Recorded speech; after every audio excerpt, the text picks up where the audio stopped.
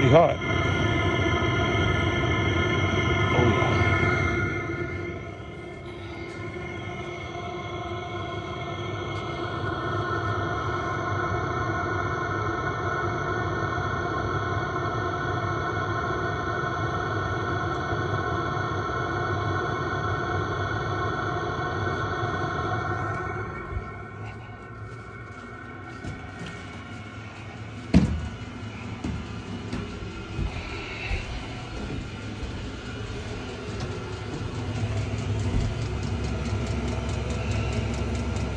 Glow plug is still on, still providing burn.